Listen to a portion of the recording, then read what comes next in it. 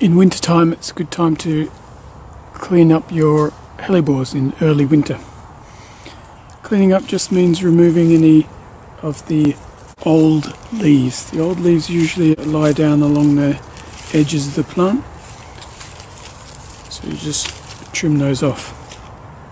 You can recognize an old leaf because it will start to have holes in it, it will have discoloration, it will have little edges torn.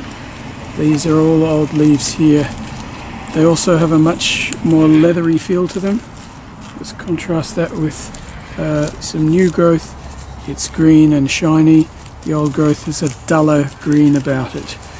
So all of those old leaves, anything which has a hole in it, a tear, uh, discoloration, browning, uh, or just a dull leathery look, you trim those off.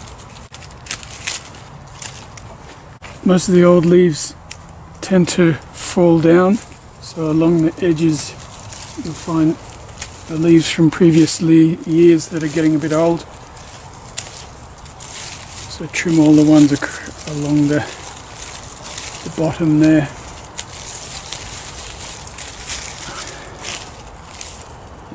one here. One of the benefits of doing this is that the flowers, which are just about to come out now, are now much more prominent. They're not covered by any of these old daggy leaves.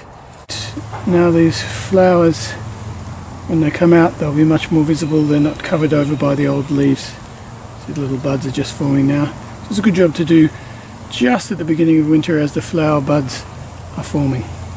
So you're not only taking off old unattractive foliage but you're also opening it up to make the flowers more visible.